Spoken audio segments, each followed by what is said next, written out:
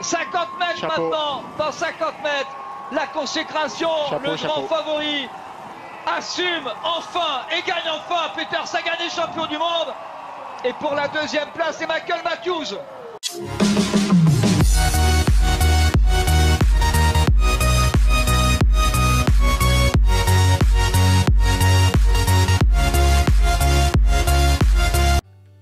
Salut à tous, c'est Stio Cyclisme, j'espère que vous allez bien et aujourd'hui on se retrouve pour une nouvelle vidéo que j'ai nommée l'histoire du vélo.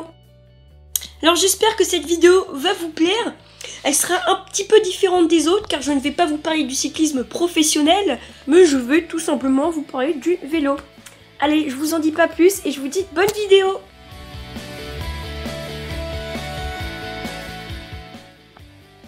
Alors tout d'abord dans cette vidéo, je vais vous présenter la création du vélo. En grand 2, je vais vous expliquer l'évolution du vélo. Et enfin, en grand 3, les différents types de vélos. Allez, je vais tout de suite vous parler de la création du vélo. Alors, faut savoir que tout commence le 12 juillet 1817. Un Allemand de 32 ans appelé Karl von Dress, assis à califourchon sur une poutre en bois reliant deux roues, parcourt avec sa machine 14,4 km en une heure par action de ses pieds sur le sol. Cette machine sera appelée la Drésienne. Paris, mars 1861. Un chapelier apporte à un serrurier, appelé Pierre Michaud, une drésienne à la roue avant défaillante pour que Pierre Michaud puisse la réparer. L'un de ses fils, Ernest Michaud, essaye cette drésienne et trouve qu'elle n'est pas confortable. Il se plaint du désagrément qu'il éprouve une fois lancé pour garder les jambes levées.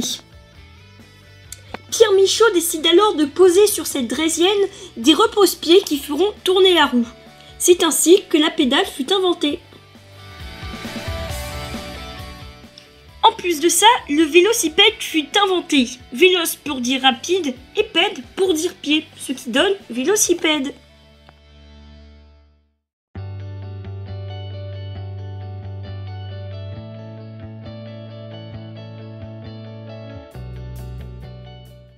On va tout de suite passer à la deuxième partie de cette vidéo, l'évolution des vélos. Alors faut savoir que là je vous ai présenté la création des vélos et maintenant nous allons voir comment ces vélos ont-ils évolué.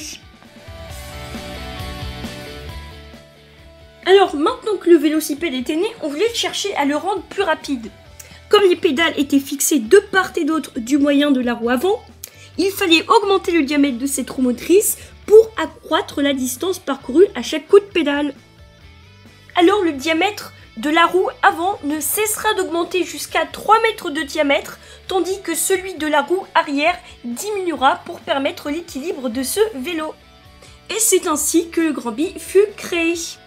C'est vers 1875 que le français Jules Truffaut décide de transformer le Grand Bi en acier, car auparavant le Grand Bi était en bois.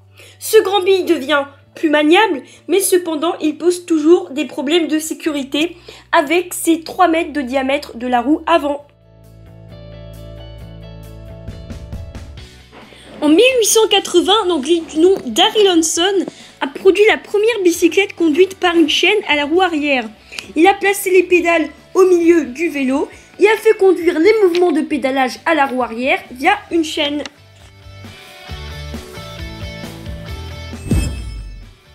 C'est à partir des années 1890 que la figure géométrique en triangle du cadre s'imposa. Et c'est ainsi que la réelle bicyclette fut inventée, bi pour dire deux, et cycle pour dire roue, ce qui donne bicyclette.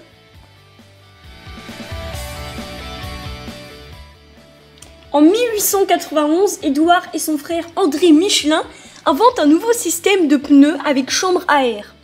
On raconte que l'idée leur serait venue après avoir rencontré un cycliste anglais demandant une réparation lors de son passage à Clermont-Ferrand.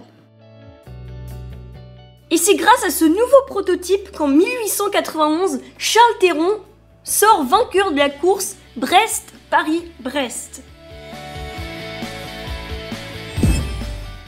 En 1911, pour la première fois, le Tour de France franchit les cols des Alpes et à cette occasion, le Stéphanois Panel expérimente un changement de vitesse par dérailleur. Celui-ci fut inventé quelques années auparavant, en 1889. Une multitude de petites innovations vont ensuite permettre de poursuivre l'évolution de la bicyclette, dont la roue libre en 1898 qui n'oblige plus le cycliste à pédaler en permanence, y compris dans les descentes.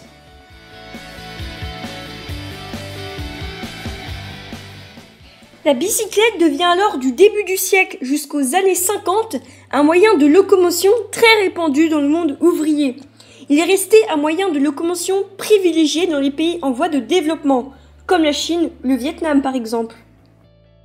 Dans certains pays occidentaux, comme les Pays-Bas ou l'Allemagne, le relief peu accidenté des villes a fait de la bicyclette un moyen de transport urbain important dans toutes les classes sociales. Donc voilà, maintenant que j'ai terminé de vous présenter l'évolution des vélos, je vais passer au troisième sujet, les différents types de vélos.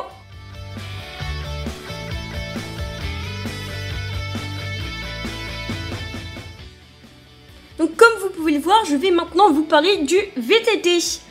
Tout commence aux États-Unis dans les années 1970. Une bande de jeunes se lance dans des descentes dans les montagnes de Californie.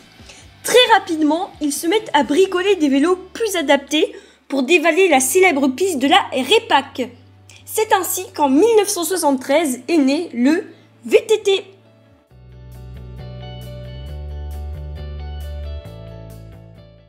Le premier à être commercialisé en 1983 est le Strump Jumper que vous voyez ici à l'image. Alors vous allez me dire que sur le VTT que je vous ai montré auparavant, il n'y a pas de suspension. Oui, mais il faut être patient. Il faut attendre 1989 pour avoir le premier VTT avec suspension, ce qui le rend bien sûr plus confortable.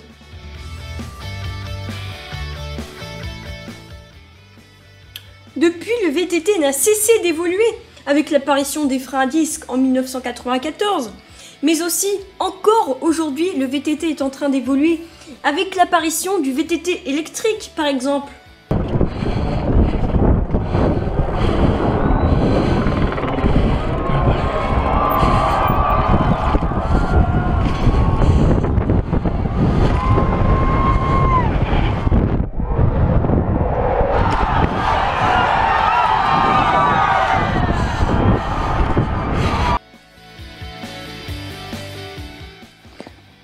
Tout de suite passer au BMX, qui a été inventé au début des années 70. Cette discipline a été créée au départ pour les enfants des pilotes de motocross californiens qui n'étaient pas assez âgés pour la conduite d'une moto. Puis la discipline s'est étendue sur une grande partie du continent américain pour arriver en Europe et s'installer dans le monde entier. Le vélo est muni de deux roues de 20 pouces, qui est égal à 50 cm, de repose-pied, donc ce sont des tubes métalliques fixés sur les axes des roues, et puis d'un système de freinage spécial permettant de tourner les guidons sans que les câbles s'enroulent. Il faut savoir que le BMX est aujourd'hui devenu un sport de freestyle.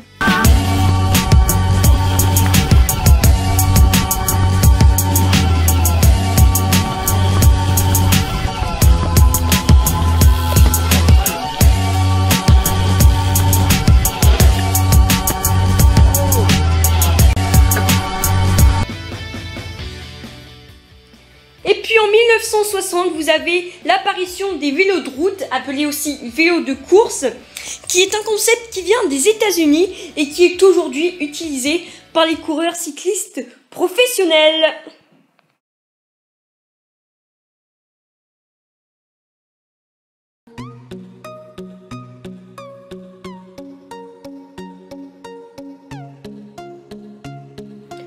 Voilà, c'est la fin de cette vidéo. J'espère qu'elle vous aura plu. En tout cas, moi, c'était un plaisir de la commenter. J'espère que vous aurez appris beaucoup de choses sur l'évolution du vélo. En tout cas, je vais essayer de l'adapter au mieux pour vous. Voilà, n'hésitez pas à vous abonner si ce n'est pas encore fait. Ça me ferait vraiment plaisir. À laisser un commentaire et un pouce bleu. Et puis moi, je vous laisse et je vous dis à bientôt pour une nouvelle vidéo.